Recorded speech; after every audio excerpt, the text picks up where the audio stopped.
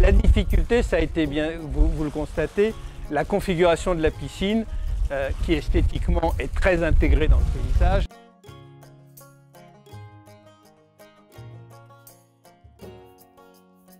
J'ai privilégié la taille de la piscine et l'esthétique à la terrasse qui elle est un peu, bah, dévaluée. Voilà, je ne peux pas mettre de table, je ne peux pas mettre ceci. Euh, bon, voilà, sur un espace donné, il a fallu privilégier et je voulais une piscine qui effectivement ait de l'allure.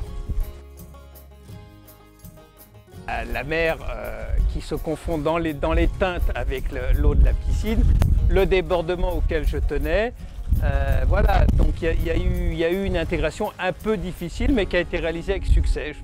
Euh, c'est d'une très belle piscine, très agréable, et j'en suis très content. Je recommande Diffasure parce que ça a été les socs à pouvoir répondre à, une configuration géométrique très particulière, à des difficultés d'accès. Et puis Diffasure propose des options très complètes, donc oui, je pourrais le recommander sans problème.